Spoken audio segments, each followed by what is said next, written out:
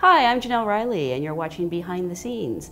I'm here today with actor, writer, producer, uh, horror fanatic Yuri Lowenthal, Yes. and we're going to talk about one of our favorite genres, horror films. Um, next week is uh, there's a horror film opening called Frozen, written directed by Adam Green, who did the movie Hatchet, and the premise is literally three people trapped on a ski lift.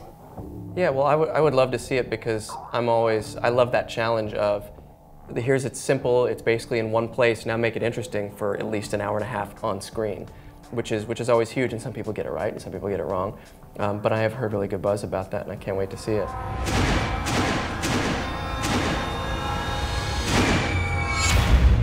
It's hard to get that sort of slight, you know, edge of comedy into that, into horror. Drag Me to Hell, I thought was great and plays on a lot of those things. Um, but also uh, Dead Snow, that was a lot of fun. I loved Drag Me to Hell. I, I thought it was going to be terrible because it was PG 13. I was like, how Right. scary can it be? Right. Scared me to death. It didn't do well at the box office. Which, which is surprising because, you know, people are obviously hungry for it. You know, Paranormal Activity, while it had a different kind of buzz, you know, was, was a horror film. And, you know, everybody was talking about it. It had its own specific Blair Witchy, you know, thing going for it.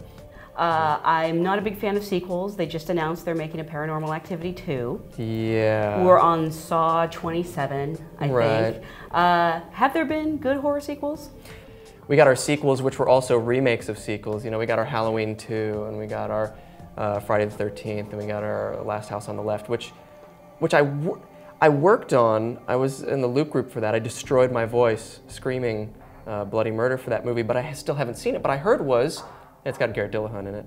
Um, I heard was pretty good, actually. I liked it more than the original.